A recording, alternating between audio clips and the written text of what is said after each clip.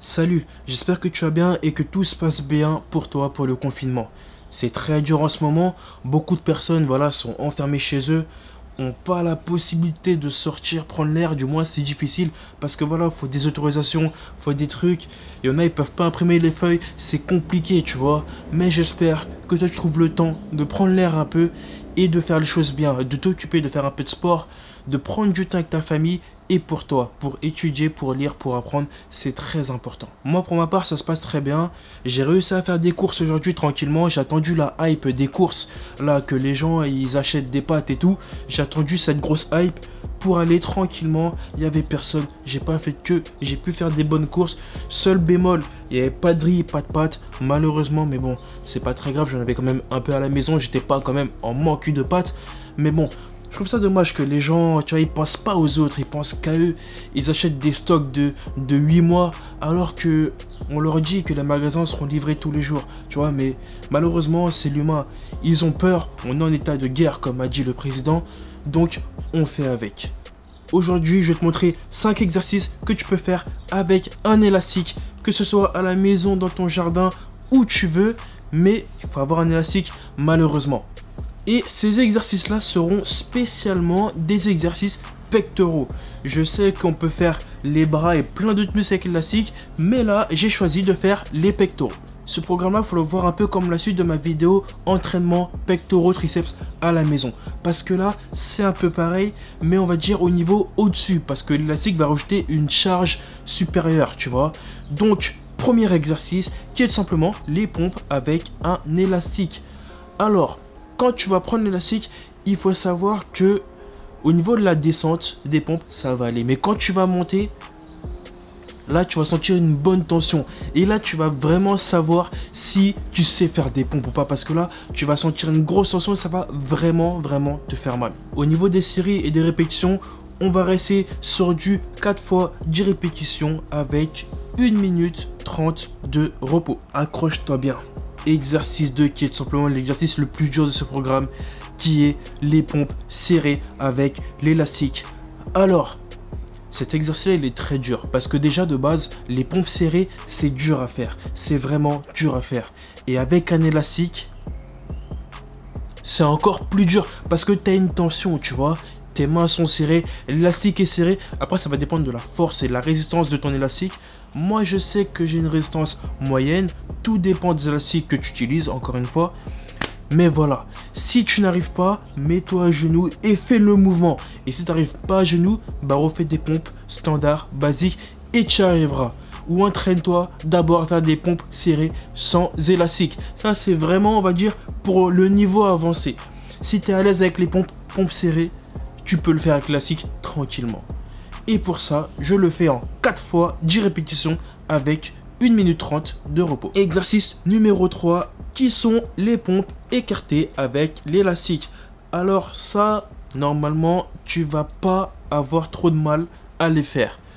Tu aurais une bonne tension avec l'élastique quand même. Il faut avoir l'habitude quand même à faire les pompes écartées. Parce que, voilà, le plus compliqué n'est pas dans la descente, c'est dans la remontée. Tu vois, quand tu montes, il faut que tu penses à bien monter, à bien sentir la tension de l'élastique, tu vois, à pas faire de demi-pompe, à bien faire des pompes complètes. C'est vraiment ça la clé.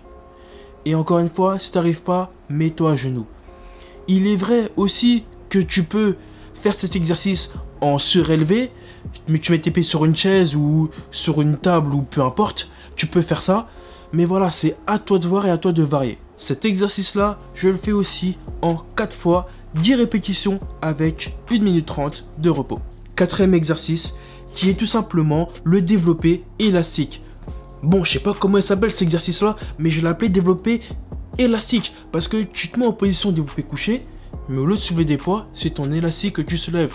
Élastique, tu le mets bien derrière ton dos pour bien caler et bien donner de la résistance et tu tires, tu vois.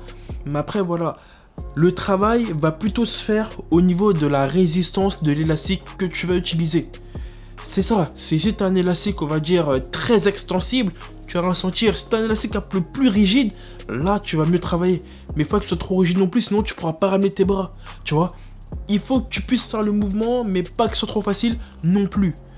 Par contre, cet exercice-là, en général, je l'utilise juste après avoir fait par exemple une série de pompes ou avoir fait une série de développé couché avec halter ou à la barre. Tu vois, c'est un exercice que j'utilise en complément en général.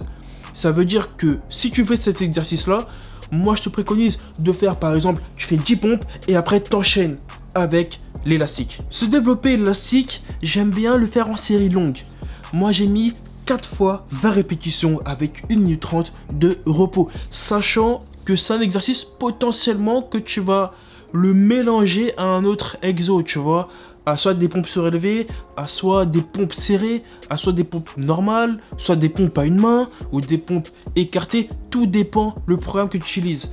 Mais oui, 4 fois 20 répétitions. C'est très important. Si tu peux faire plus, fais plus. Si tu vas à l'échec, va à l'échec sur les deux dernières séries. Cinquième et dernier exercice, qui est tout simplement mon exercice préféré. Mais comme le développé élastique à faire en mélangeant avec un autre exercice, qui est le vis-à-vis élastique. Alors, cet exercice-là, ça va faire un semblant de poulie vis-à-vis, mais sauf que tu as un élastique. Pourquoi c'est mon exercice préféré? Tout simplement parce qu'en salle de sport, tout le monde se rue sur le vis-à-vis, la machine vis-à-vis. Et l'élastique simule très très bien le mouvement de la poulie au vis-à-vis. C'est pour ça que c'est mon mouvement préféré. Et on va dire c'est un mouvement que j'utilise de base pour bien m'échauffer, bien me préparer aux charges lourdes. Et c'est un mouvement que j'utilise aussi dans mes programmes. Par exemple, en pec, je sais que mon retard est sur, enfin, était plutôt sur le haut des pecs. Et quand je faisais le haut des pecs, quand j'étais aux 50 kg par bras, juste après ça, bah, je prenais mon élastique et j'allais à l'échec. Tu vois Et j'avais une sensation de ouf. Franchement, j'avais une super sensation. Ça que c'est exercice best ever. Mais voilà, exercice à mélanger avec une autre sorte de pompe ou un autre exercice pec. C'est très important. Et comme pour le développer élastique, cet exo, je le fais en 4 fois 20 répétitions avec 1 minute 30 de repos. Donc voilà, c'était mes 5 exercices que tu peux faire avec un élastique à la maison ou dans ton jardin ou n'importe où. Si tu veux créer un vrai programme, prends ma vidéo que j'ai fait sur pec triceps à la maison et mélange-la avec quelques exercices élastiques. Et tu verras, tu sentiras très très bien tes muscles et tes pecs surtout. Parce que les pecs voilà c'est important quand même les pecs. On veut les exploser. C'est important. Sur ce je te dis porte-toi bien et à la prochaine pour la suite